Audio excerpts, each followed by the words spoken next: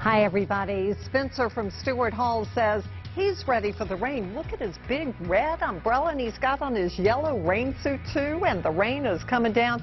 Spencer, I love your weather picture. We're going to send you four passes so that you can go to the Audubon Zoo, and Insectarium, or the aquarium. And I'll see you back here at 4, 5, 6, and 10.